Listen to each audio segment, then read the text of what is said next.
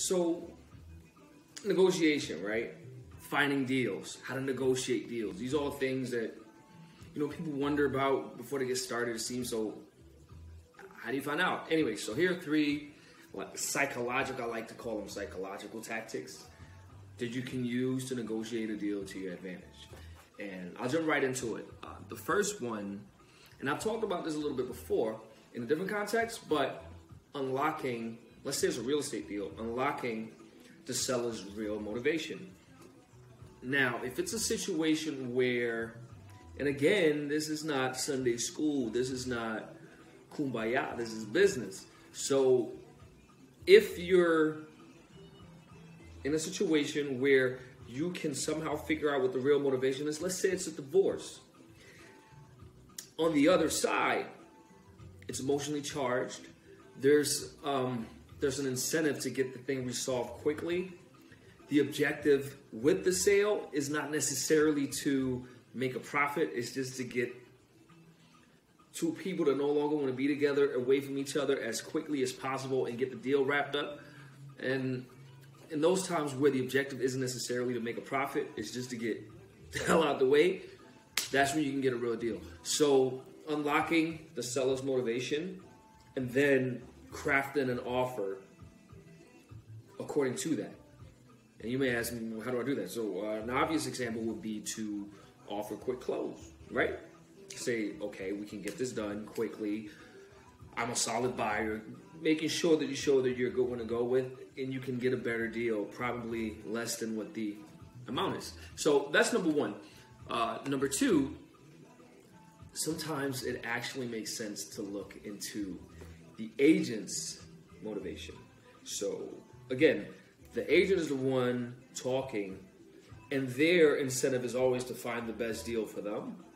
So sometimes it might make sense to figure out what the whole again you figure out the seller's motivation but if you figure out the agent's motivation you can find a way to make that work for you a way that i've done this before wasn't necessarily in a situation where there were multiple bids because me personally if i'm in a situation like that i'm not going to participate i'm just not going to participate but nine times out of ten anyway so the way that i did that was that i offered a deal where I bid less than the asking price, and I did this for a very particular reason. I didn't really want them to take that deal, but I offered it cash, right? So I took a low deal cash so they would consider it because there's an, there's an incentive there. I'll get to that in a second.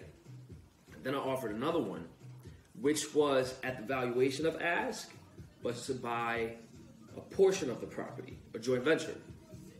Now, in then you then you got to think to yourself, that means for an agent that means less money. It's like, wait a minute, let's just throw out numbers. The asking price is a million dollars, but I'm only coming with let's say five hundred thousand. They would be inclined naturally to say no to the one that's five hundred thousand. So what I did was I said, look, I know what the, the agent's motivation is. He needs to get his commission. So I said, let's close this deal. You're still going to get the same amount you you would have gotten had it been at full ask. You're going to get paid the same. Now there's actually an incentive to get a deal done, and he will work for you as he's working for the seller because his incentive is to get paid. Makes sense? So unlocking their motivation, which is obvious, is they want to get paid, but there's other ways, other nuances sometimes where you can unlock that person's motivation and figure out how to craft a deal around that. Now, uh, the final one is tap into the psychology of instant gratification. So it's something we know as children and something that doesn't really ever leave us. People want things, they want them right now. This is why a lot of times people have a hard time saving or have the have a hard time developing the discipline required to invest for the long term. And again, it's, it's instant gratification. So so how would that work? Again, before I get into it, Muhammad Ali, you guys know Muhammad Ali. One time he had made a deal for his his penultimate fight. It was his last big. It was last big fight before another one, and he was gonna get paid. Uh, I forget the exact exact amount, but let's say ten million dollars.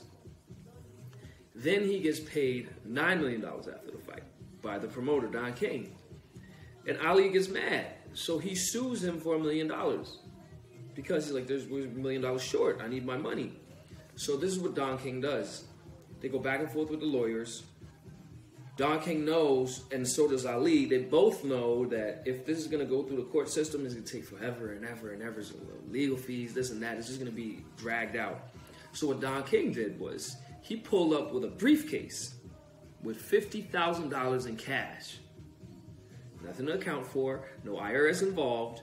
No lawyers. No waiting a year. Here's the cash. And he did that, and Don King made nine hundred fifty thousand dollars because he just paid him fifty thousand dollars in cash. Ali said, "You know what? To hell with it. Let's get this wrapped up. I'll take the fifty thousand. Instant gratification. How does this translate to getting a real estate deal? Now, cash offers. Let's go back to the example of uh, unlocking the motivation. Let's say the motivation is a divorce, and the two parties just want to get as far away from each other as humanly possible. They don't want to wait. It's emotionally charged. When you're emotionally charged, people don't make good decisions. Okay? So what you can do is to capitalize. And before somebody is saying, well, it's predatory. Well, it's business. Bought a property, you have an asset. You're in the game of liquidating that asset. You stepped into the game. It's like jumping into a fight with a broken hand or with a uh, some sort of ailment, and you don't you're not expecting the opponent to take advantage of it. If you're bleeding the eye, the, the dude's gonna pop you in the eye. Same thing here. So what you could do though, I'm not saying bad karma or anything, but this is this is just how how things work. You could go in and you could make a cash offer at far less than ask, and because they're just saying, you know what, let's get this done, let's get this over with. You have a good shot of landing the deal. So those are three um, psychological, if you will, negotiation tactic, tactics that you can use when negotiating negotiating real estate deals, any type of deals really, but using real estate because that's what we're talking about.